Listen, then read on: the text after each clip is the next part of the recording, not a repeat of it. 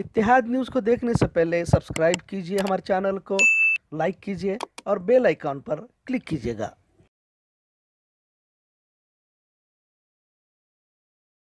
वालेकुम रहमतुल्लाहि वरकत इतिहाद न्यूज़ में आप सभी का खैर मकदम है। बेलगाम शहर में लॉकडाउन के चलते गरीब, ज़रूरतमंदों के रोज़मर्रा की ज़रूरी चीज़ खाने का इंतज़ाम और भी दिगर कामों को अंजाम देने के लिए समाजी खदमात अंजाम देने वाली तंजीमें पेश पेश है।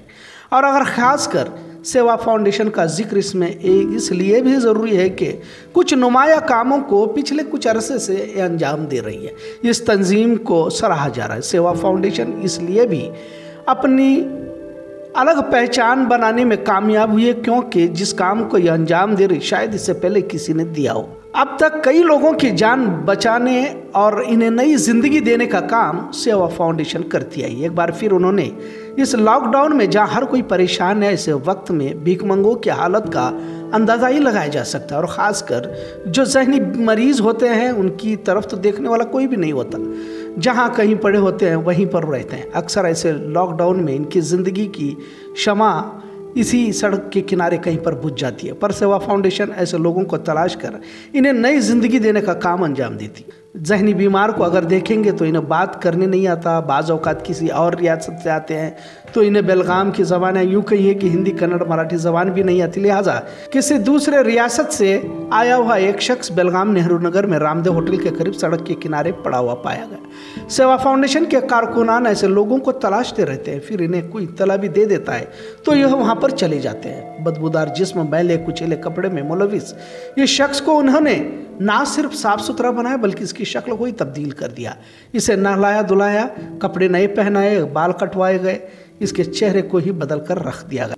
आखिर में इसे खासबाग के आश्रय केंद्र में भेजा गया। तब शीश के बाद पता चला कि इसका नाम संतोष है और यह लातूर महाराष्ट्र से जैन बीमार होने की वजह से किसी ट्रक में बैठकर बेलगाम पहुँच गया। पिछले कई दिनों से किसी, किसी तरह गुजर बसर कर रहा था। आखिर में सेवा फाउंडेशन की जानब से नई ज़िंदगी हासिल हुई। बहरहाल सेवा फाउंडेशन की इस काम को सराहा जा रहा है। किसी धर्म जात पात का तफरका न करते हुए खदमात अंजाम देने के इकदाम को वाकई इतिहाद न्यूज़ भी इन्हें सलाम पेश करता है। मेरा नाम सादिक बशीर अहमद मोमिन है। ये मुझे लड़का रामदेव स्टैंड के पास रुका था। उसको मैं देखने उसको देखने के बाद मैंने सेफ़ फाउंडेशन को कॉल किया। सेफ़ फाउंडेशन ने मेरे रिप्लाई को एक्सेप्ट किया। रिप्लाई रिप्लाई दिया मेरे को। और उन्होंने आकर इस लड़के को आकर उठाकर लेकर उसको साफ़ सफ़ाई करके उसे उसके ये कर रहे हैं। इसी तरह बेलगाम ह्यूमैनिटी फाउंडेशन आज़ाद नगर की जानब से लॉकडाउन में आवाम के खदमात को अंजाम देने वाली पुलिस महकमा को खाने के पैकेट्स फराहम करने का काम अंजाम दिया गया। इसी तरह से गरीब आवाम को भी खाने के पैकेट्स फराम किए गए। इससे पहले भी बेलगाम ह्यूमैनिटी फाउंडेशन ने कई खदमात को अंजाम दिया है। इनके इस काम को आवाम की जानब से सराहा जा रहा है।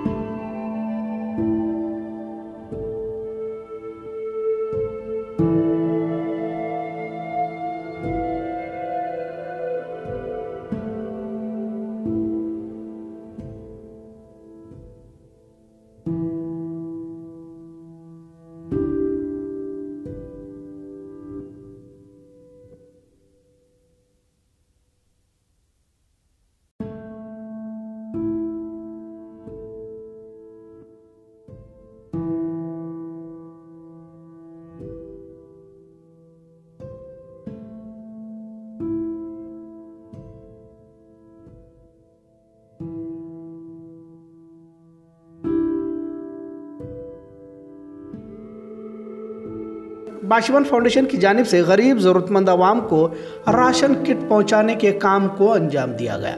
लॉकडाउन की वजह से ऐसे कई घर हैं जहाँ रोज़मर्रा की ज़रूरत चीज़ें तक नहीं पहुँच पाती। यहाँ तक कि राशन भी नहीं पहुँचता। कई लोगों के पास तो राशन खरीदने के लिए पैसे भी नहीं है। इन्हीं ज़रूरतों को मद्देनज़र रखते हुए बाशियाबान फाउंडेशन की जानब से राशन किट गरीब ज़रूरतमंदों को तकसीम किए गए। नौजवानों की इस काम को सराहा जा रहा है। बेलगाम शहर में और भी तंजीमी इदारे काम कर रहे हैं और नौजवानों की इस पहल की वजह से कई घरों में चूल्हे चल रहे हैं। इनके इस खदमात को अल्लाह कबूल फरमाए और इन्हें अजर नसीब फरमाए।